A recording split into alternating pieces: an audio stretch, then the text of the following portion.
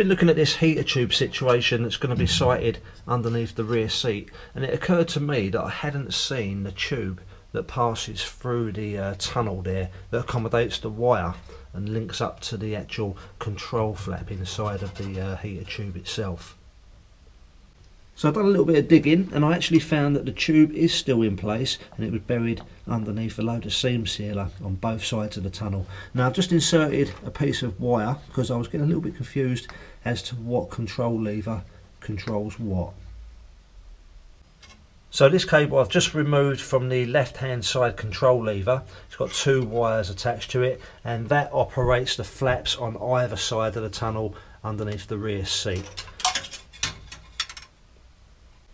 You can see that these are the two wires that I've poked through from the rear and it's gone up to that lever there. The cable that's connected to the right hand side also has two cables spurring off of it and that controls both the control flaps at the heat exchanger end. I'm just glad that it's all in place really, that the tube's not blocked, the wire passes through it freely. So I'm just going to buy myself a piece of conduit tubing and then uh, get it linked up to that heater control flap so that the wire passes in the right direction.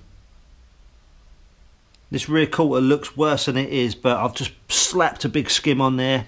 A lot of it's going to be coming off but it's just to get that nice shape between the door and the panel itself. I had a broken wire inside this one but I've just made a new one out of the old cable that runs through the tunnel. Nice and strong now. Made a couple of spare hooks also out of the remnants of the old wire for the uh, rear control flaps just in case. Still filling and sanding away where required. I've got to let a skim go off now so I'm going to move the car back to the wall and make a start on trying to make a small piece of the heater channel that I just can't get hold of. Just marking a first of two out on some sheet steel now and there's my little plan I've just got from photos online. I'm not going to tell you what it is yet, don't know if you can guess. I'll just know that once I've made it as well there's going to be people out there saying oh I've got two of them laying about in the shed. Can you guess what it is yet?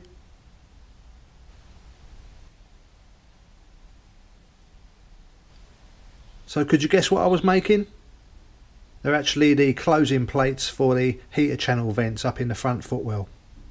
Now there's still a lot of work on the heater channel itself to make a nice little sliding channel for it to pass back and forth on. The dimples that I've just put in the bottom there, they should actually help as a stop when it's um, sliding along. I may need to trim a little bit of material off of each side but I'm also going to put a hole on the reverse side there and do a little plug weld just so it uh, strengthens that clip up. Like I said, there's probably people talking to the screen right now saying, oh, I've got a couple of them stashed away, but honestly, I couldn't find them anywhere. So I've got one more to make and then I'll uh, trial fit them and trim down where needed.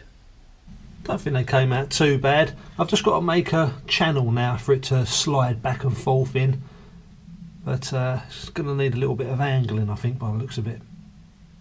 I've actually just got this uh, 10 millimeter steel rod. Was a metre in length. I've just cut it in half, but the uh, the bores looks like about a one and a half mil wall. So I'll just bore that out a little bit so it slips over the uh, collar of where the wire comes out, and that should, although be a little bit difficult to bend, it should sort out my uh, heater cable tube.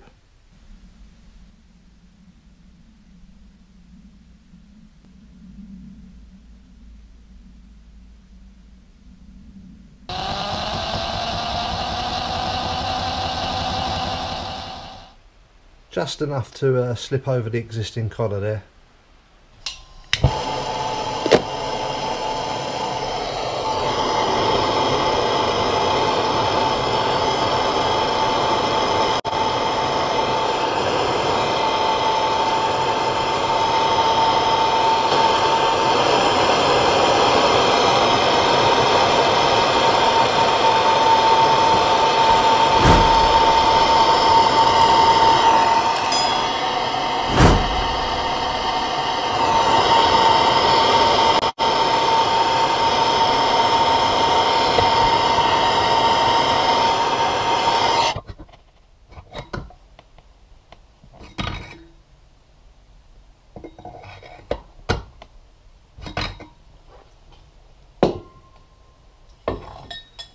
There we go, there's three bends in there. So I did try and use the pipe bender, but this tube was a little bit too hefty for it. As mentioned, that wall inside is um, about a millimetre and a half. So yeah, just using the blowtorch and um, a bit of copper piping just to get a bit more leverage on it. So that's pretty much the positioning of the tube that I've just bent. So I'm going to put a little tack weld on the centre section there just to hold it down to the floor pan. And I will be finalising the actual length of this tube later on. The uh, cables pass through it and it's got a little connection buckle that connects the two portions together, allowing that flap to uh, go back and forth there. But let's get the other side done. I've just gone and put some foil tape over the heater tubes there just to help the hot air flow through the uh, ducting system. I'll insert a picture on the screen of what I'm actually making but I've been looking for the correct gauge wire to attempt making the um, clamp basically that holds the vent cover on the actual heater channels. Now I've just put two Allen keys in the vise and I've been going around bending the angle to the desired pattern on the actual wire. It should work, it just holds the um, vent cover in place. One down, one to go.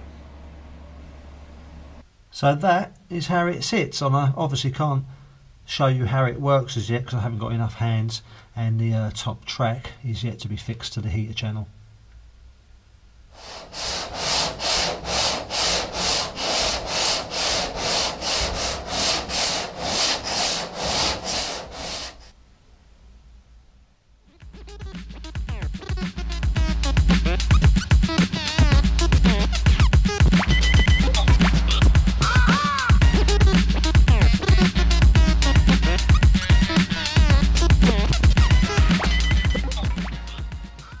Another skimmer filler but uh, most of that gets sanded off.